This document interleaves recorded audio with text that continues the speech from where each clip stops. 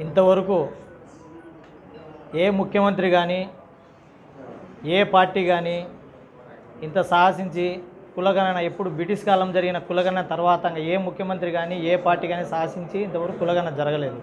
ఈరోజు మన ప్రీతం ముఖ్యమంత్రి జగన్మోహన్ రెడ్డి ఈ సాహసించి మన బీసీ కులగణన జరపడం చాలా ఆనందదాయకం చాలా సంతోషదాయకం అటువంటి టైంలో మన రాచమల్లు ప్రసాద్ రెడ్డి మన అన్న శాసనసభ్యుని ఉండడం కూడా మనందరికీ గర్వకారణం ఆనందదాయకం. ఎందుకంటే ఆయన కూడా మన బీసీ పక్షవాది.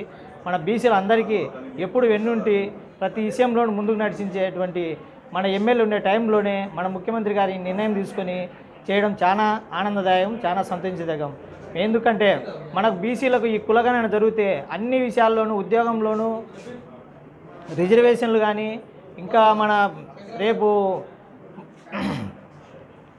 రాజకీయ రిజర్వేషన్లలో కానీ ఇంకొక దాంట్లో కానీ మనకు ఎక్కువ శాతం పెరిగేదానికి ఆస్కారం ఉందని ఈ కులగన జరగ జరపాలని ఎన్నో ఇంచి ఏళ్ళ నుంచి మన పెద్దలు బీసీ పెద్దలు చాలా ఫైట్ చేస్తూ వచ్చినారు.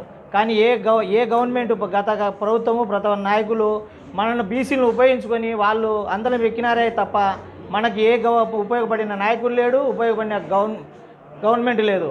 ఈ ఇప్పుడు మన నాయకుడు జగన్మోహన్ రెడ్డి మన బీసీల పక్షపాతి మన బీసీలకు అనేక పథక పథకాలు ప్రవేశపెడుతూ ఏ పథకంలో చూసుకునే కూడా బీసీలకు డెబ్బై పర్సెంట్ పై శాతమే మేలు జరుగుతుంది. ఇది కూడా మనం బీసీలు అందరం గ్రహించి మనం తద్వారా జగన్మోహన్ రెడ్డి కూడా మనము ఆయన చేసిన ఫలాలు మన ఫలాలు తిని మనం ఉండకుండా ఆయన భవిష్యత్తులో మనం కూడా ఆయన ఉపయోగపడి ఆయనకు ఆయన పార్టీకి ఆ, బలోపేతం మనం అందరం కృషి చేయాలని ఈ సభాముఖంగా తెలియజేసుకుంటూ నమస్కరించి సెలవు తీసుకుంటాను నాయకత్వంలో పార్టీ అధ్యక్షుడు జగన్మోహన్ రెడ్డి గారు ముఖ్యమంత్రి అయిన తర్వాత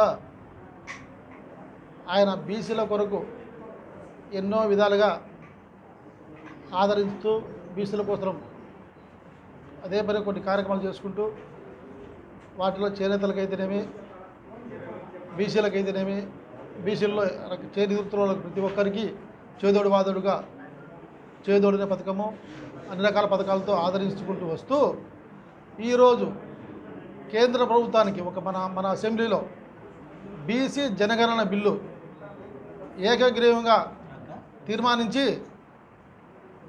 కేంద్రానికి పంపడం జరిగింది. దానివల్ల మా బీసీలకు ఎంతో ఉపయోగపడుతుంది.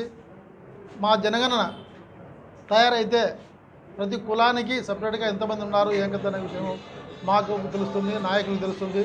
తద్వారా మాకు రావాల్సిన గ్రాంట్లు సీఎం గారు సంతోషంగా మాకు అలర్ట్ చేసి మా అభివృద్ధికి తోడ్పడతారు తోడ్పడతారనే ఆశతో సంతోషపడుతూ ఈరోజు గురు ముఖ్యమంత్రి గారికి కృతజ్ఞత కృతజ్ఞతాభావంతో పాలాభిషేకం చేసి ఆయనను ఇష్టంగా కోరుకుంటూ ఇంకా కొన్ని దఫాలుగా ఒక దఫా కాదు కొన్ని దఫాలుగా ముఖ్యమంత్రిగా కావాలని మేము ఆకర్షిస్తూ కోరుకుంటున్నాం. బీసీ కులగణం అవసరం అంటున్నారు. ప్రతి ఒక్క ఎస్టీ ఎస్టీ బీసీలు ఇవన్నీ ఉన్నాయి కదా ఎస్టీ ఎస్టీలో ఈ జనాభా సేకరిస్తున్నారు. ఎన్ని సేకరిస్తున్నారు? మన కులంలో ఏ కులం అయితే ఉన్నదో ఆ కులానికి జనాభా ఎందుకు సేకరించకూడదు? ఆ పద్ధతిలో నిన్న ముఖ్యమంత్రి గారు శాసనసభలో బిల్లు పెట్టి ఈ బీసీలు జనాభా మీరు ఎవరెంతమంది ఉన్నారో తెలుసుకో తేవాలని చెప్పి ఆయన గట్టి పట్టుదల బట్టి అసెంబ్లీలో బిల్లు పాస్ చేసి కేంద్రానికి పంపించడం జరిగింది. కేంద్ర ప్రభుత్వం నుంచి ఆర్డర్ వస్తానే మన మన కులస్తులమంతా ఎంతమంది జనాభా ఉన్నాం? మనం పా- ఈ జనాభాను బట్టి మనం కార్పొరేషన్కు ఎంత ఫండ్స్ అడగాల అనేది కూడా ఒక నిర్ణయం అయిపోతుంది అనమాట ఇది చాలా మంచి కార్యక్రమం. ఈరోజు ఈ కార్యక్రమం హాజరైన బీసీ కులస్తులకు ఓసీ కులస్తులకు అందరికీ నా హృదయపూర్వక వైఎస్ఆర్ కార్యకర్తలకు అందరికీ నా హృదయపూర్వక నమస్కారం